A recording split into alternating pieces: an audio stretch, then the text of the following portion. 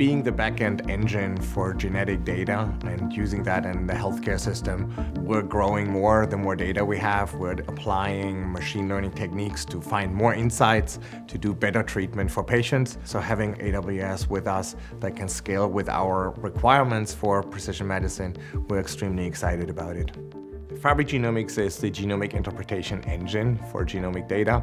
We're working with uh, clinical laboratories and hospital systems that have the machines that produce the raw data.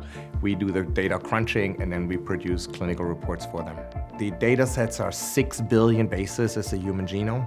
And what we're really analyzing is the entire human population. So if you have that knowledge, you can change treatment, you can diagnose children, you can diagnose patients earlier, taking the genetic data. Rady Children's Institute is a brand new pediatric or children's research institute to bring the benefits of genome analysis into pediatric care. We're uh, doing this primarily for the sickest patients in our hospital.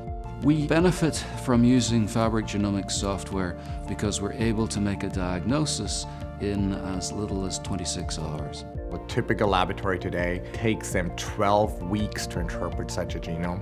With our software now, we have really reduced that down to two hours.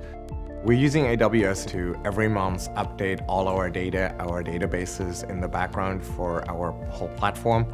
We use AWS for our production servers. That means that people can everywhere in the country and outside of the country get access to our software 24-7, um, which is huge for clinical um, support. It's really important that Fabric runs on AWS for a couple of reasons.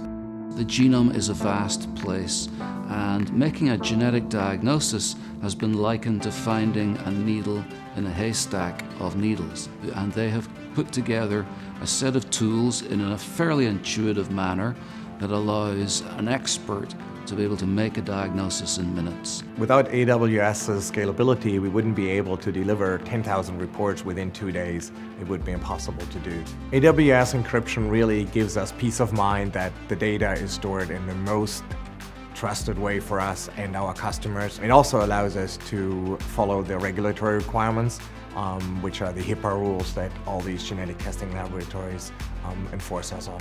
So we're using the S3 uh, and EBS for all our data storage, and this is massive genomic storage updated every month. Um, for our high performance computing, we use EC2, powered by the Intel Xeon processing. This is critical for fast processing and clinical decision support. Um, and then thirdly, for security and 24 hour availability, of course, we have all these different instances, so that allows us